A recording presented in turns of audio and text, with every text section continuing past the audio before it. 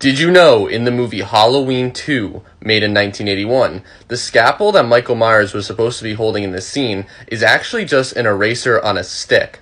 Also, Halloween 2 was the only movie in the entire franchise to show what happened on November 1st after Halloween.